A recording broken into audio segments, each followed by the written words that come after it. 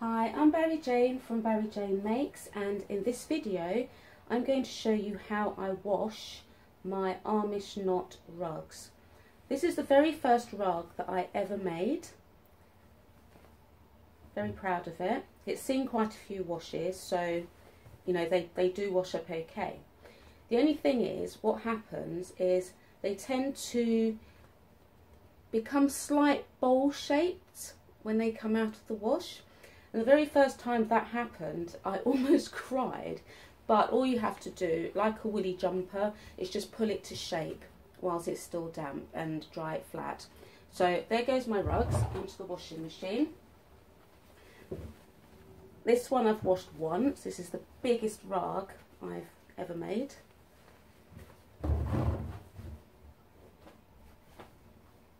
My first oval rug.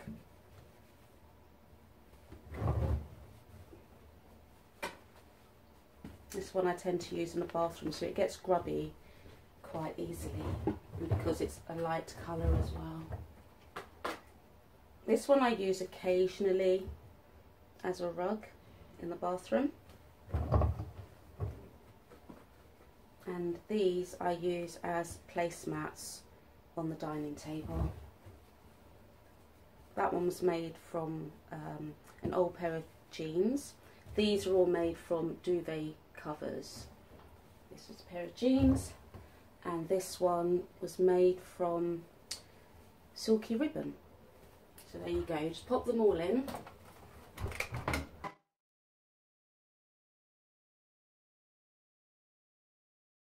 Okay, the wash is done. Let's see what's happened to these rugs. Okay, this is my oval shaped rug.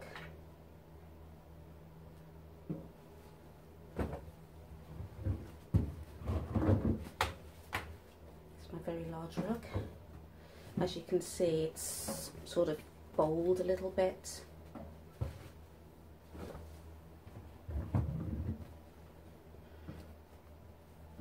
This one less so. I think maybe it's because it's been washed so often.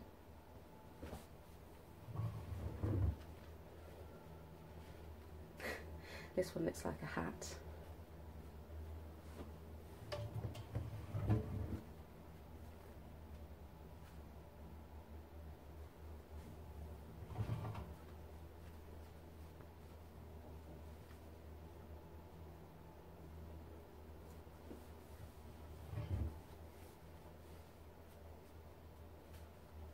See it's quite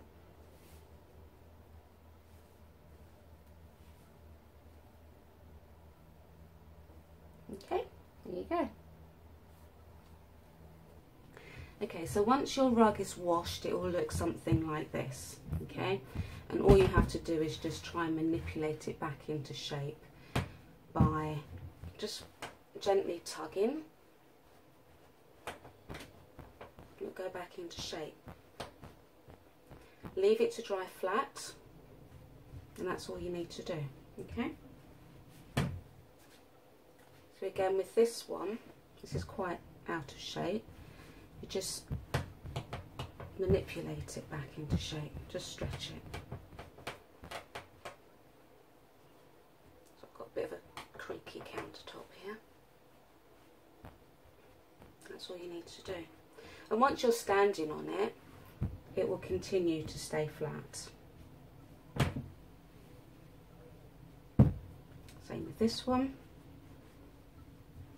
That's all you have to do. Just give it a little stretch. So don't be afraid. don't be sad or upset when it comes out of the wash looking like this. Okay, just got to work it, get it back into shape, dry it flat. You may have to dry it on towels flat on the floor, you know, if you don't have a lot of space. Same with my big oval rug. I would do this one on the floor. And you just have to just stretch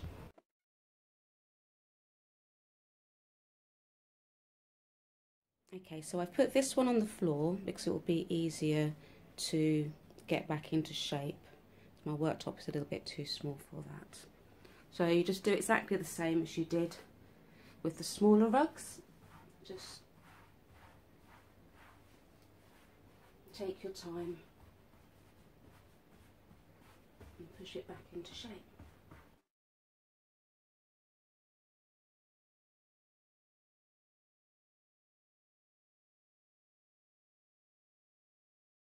So just basically just continue to use your hands to get it back into shape.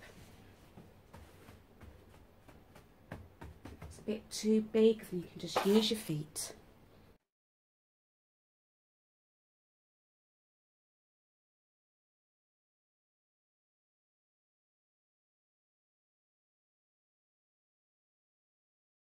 So these are my rugs drying out on the living room floor what I'll do is at the end of the day I will change the towels.